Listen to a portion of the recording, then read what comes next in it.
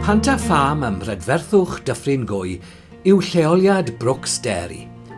Mae'r teulu wedi bod yma ers dros 30 mlynedd ac maen nhw'n cynhyrchu hufen ia a chaws o'r llefrith ddaw o'i biches Jersey Pedigree. Mae'r llefrith yn berffaith ar gyfer gwneud hufen ia a chaws gan fod llawer iawn o fraster menyn a phrotein ynddo sy'n creu blas hufenog trwchus cynhyrchu hufen ia oedd Brooks Derry yn wreiddiol, ond wrth i'r busnes dyfu, maen nhw wedi ychwanegu cynnyrch newydd fel sorbe, sy'n boblogaidd mewn allfeidd adwerthu a thai bwyta.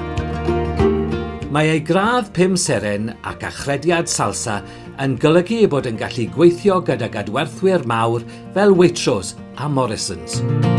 Yn fwyaf diweddar, maen nhw wedi dechrau gwerthu caws bri meddal a ddatblygwyd gan hana.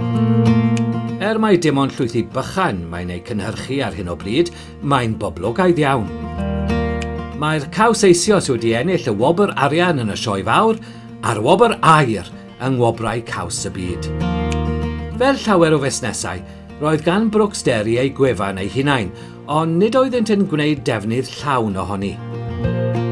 Ond ers iddyn nhw ddechrau gwneud caws, mae'r tîm wedi bod yn edrych ar yr hyn mae busnesau eraill yn ei wneud, a sylweddoli bod arnynt angen cymysgu dilliau traddodiadol ac ar-lein o farchnata.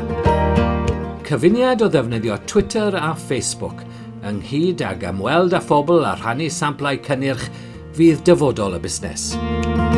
Bu Brooks Derry yn bresennol mewn gweithdi SEO gan cyflymu Cymru i fusnesau. Oedd yn gymorth mawr iddyn nhw. Rhoddodd y gweithdi wybodaeth iddyn nhw am y pethau y dylent fod yn ei gwneud gyda'i gwefan i wneud i'r busnes dyfu. I Hana, dau o'r prif bethau a gafodd o'r gweithdi oedd sut i ddefnyddio MailChimp i gyrraedd cronfa ddata o gwsmeriaid i hyrwyddo eu cynhyrchion newydd.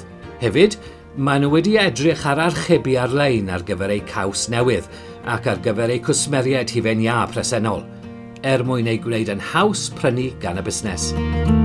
Mae bod ar-lein yn rhoi arf anhygoel i Brooks Derry ymchwilio i gwsmeriaid posib, ond hefyd i ddweud stori a hanes y fferm. Gan fod y tîm wedi dechrau defnyddio mwy ar gyfryngau cymdeithasol erbyn hyn, maen nhw wedi darganfod eu bod yn gallu dysgu am yr hyn mae cwmnïau eraill yn ei wneud a deall beth mae cwsmeriaid ei eisiau gan gynnyrch newydd. Mae Brooks Derry yn gyffroes am sut y gall defnyddio llwyfannau ar-lein ei helpu i dyfu yn y dyfodol.